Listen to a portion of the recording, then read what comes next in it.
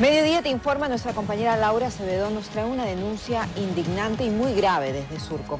Una cámara de seguridad grabó a una terapeuta extranjera maltratando a un niño con autismo. Esas son las imágenes, hay una evidencia. Se ve cómo le pega detrás de su cabecita con violencia al menor que no se puede defender, le limpia de una manera brusca y en definitiva no es el comportamiento que uno espera de una terapeuta que él le confía su tesoro más preciado, que es su hijo. Todo quedó registrado y actualmente eso va a ser una prueba para que las investigaciones determinen la responsabilidad de esta mala profesional. Laura, estamos con la madre de este pequeño y queremos conocer más de esta historia que sinceramente nos molesta mucho. Nos molesta mucho tener que reportar por la falta de todo, de empatía de esta mujer. Eli, y estas las imágenes que tienen recientes, ¿ah? Por la, y las únicas, porque ella tiene ya tiempo trabajando aquí. No sería la primera vez que ella agrede a este menor, porque según la mamá había cambiado mucho la conducta.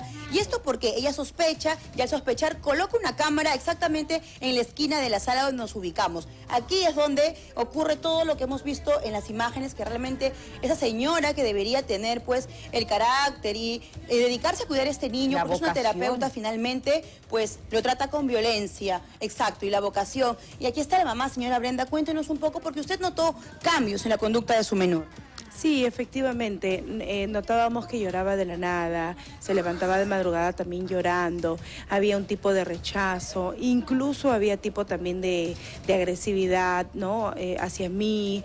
Eh, de la nada, o sea, estaba de repente renegando o porque lo quería corregir o le llamaba la atención, que se siente bonito, de la nada, de repente también había esos, esa agresión de parte de él a nosotros. Entonces, eh, nosotros ya desde ahí decíamos que algo realmente estaba pasando. ¿Cuánto tiempo tenía ella trabajando con ustedes? ¿Cómo se llama también para identificarla? Ella se llama Evelyn Katiuska Camejo Rojas. Ella viene trabajando conmigo desde abril de este año, hace aproximadamente siete meses. Eh, efectivamente, ella al comienzo iba solamente al colegio con, con, mi hijo nada más. Pero hace un par de meses yo la contraté y le dije que por favor me ayude para también quedarse en casa con él antes de ir al colegio, que me lo pueda listar y lo lleve al colegio en la movilidad. Entonces, a raíz de eso, desde que ella empieza a venir a casa es donde nosotros notamos los cambios de mi hijo. Pero había algo ya muy extraño. Nosotros veíamos a su esposo en la parte de afuera esperando cerca de una hora, dos horas, esperando bastante tiempo. Y eso es lo que a nosotros nos extraña. Mi hermana, que vive acá también en el edificio, salía eh, después de dos horas y me decía, sigue ahí en, la, en la puerta, sigue ahí afuera.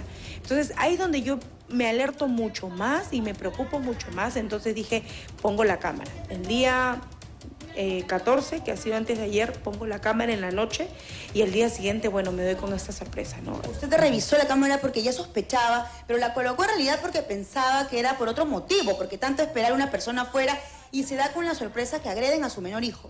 Exacto, yo hasta creía que de repente el señor quería entrar, querían robar, quería es, lo que yo imaginaba, porque ¿para qué se quedaba tanto tiempo esperando? ¿Por qué pierde tiempo, tanto tiempo ahí afuera?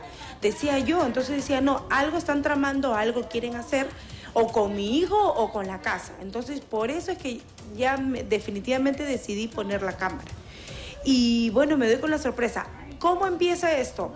Primero veo que eh, mi hijo efectivamente también le da un manazo a ella en, en el mueble, y ella se lo responde en la pierna. Es ahí donde yo no dejo para nada cerca de 40 minutos de ver la cámara. Y bueno, efectivamente me doy con la sorpresa de que vino algo más fuerte, que es a la hora de, ensuciarse, le da el, manazo en, la, en la cabeza. Señora Brenda yo perdí totalmente el, eh, estaba fuera de lugar, estaba... estaba sí, Eli, te escuchamos. Sí, eh, las imágenes son terribles. Hemos visto la manera tan violenta con que esta mujer que debería cuidar a un niño como corresponde, lo, lo agrede, lo ataca, le pega. Es un niño con autismo que no se puede defender y que nunca eh, contó lo que estaba padeciendo. Cuando usted ve estas imágenes, ¿la confronta esta mujer? Sí, no en el momento, eh, no la llamo quise estar tranquila porque quise venir con autoridades, porque yo tampoco, si de repente la llamaba, de repente ella hasta incluso eh, agredía a mi hijo algo más fuerte, algo más delicado. Entonces es donde yo decidí calmarme y simplemente llamar a mi padre que vive cerca de nosotros y decirle que venga con policía, que venga con, una, con una autoridad para que puedan detenerla. Porque eh, no quería que de repente pueda eh, actuar mal, reaccionar mal. Mi hijo, algo más, y la mujer fue detenida, ¿qué pasó con ella? Sí, fue detenida, la llevaron a la, a la, comisaría de aquí de Sagitario, pero bueno, lamentablemente las leyes dicen que es agresiones leves, no hay pruebas, no hay moretones, no hay sangrado, entonces simplemente la dejaron salir. Es lo que usted ha podido registrar ahora, siete meses atrás, ¿qué ha podido pasar? Usted no lo sabe. Exactamente, no lo sé. Exactamente, tal cual, no lo sé. Y, y, como verán, cuando yo la enfrento a ella, ella me dice, ¿dónde están los moretones, señora? Enséñeme los moretones de su hijo. Entonces yo le digo, no necesito ver un moretón de mi hijo, yo te he grabado con la cámara.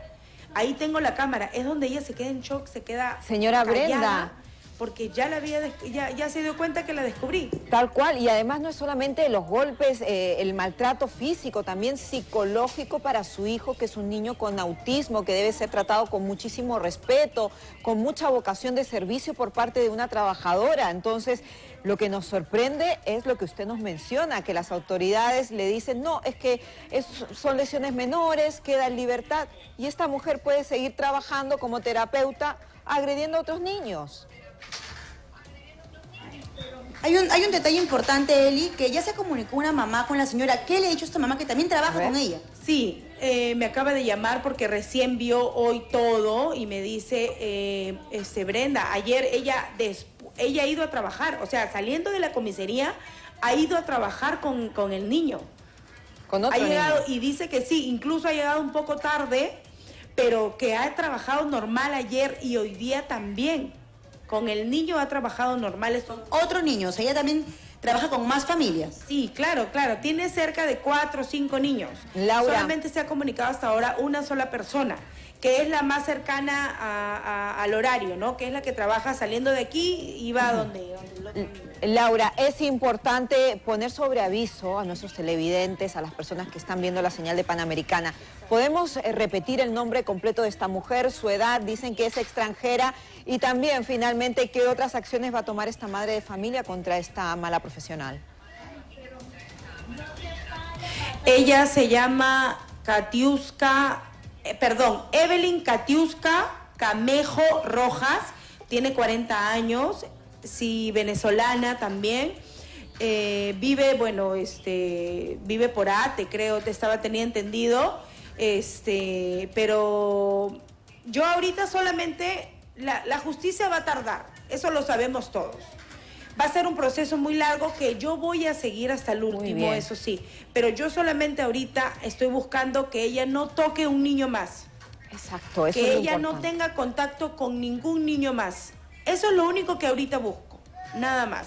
Y aquí eh, la, plataforma de Panamericana Televisión va a servir para eso, porque hemos dejado el antecedente, está su rostro, está el video, está su nombre, así que por favor siempre averiguar los antecedentes de las personas que contratamos. Ya hay una denuncia en contra de esta extranjera que ha golpeado al niño con autismo y hacer un llamado, ¿por qué no?, al Ministerio de la Mujer y Poblaciones Vulnerables. No esperemos a que ocurra una desgracia para tomar cartas en el asunto. Los golpes quedaron registrados en la Cámara de Seguridad y eso es más que una evidencia. Le quiero agradecer a Laura y a la señora Brenda por el testimonio que nos ha compartido y esperemos que este pequeño pueda recuperarse de este trauma que ha vivido. Muchas gracias para las dos.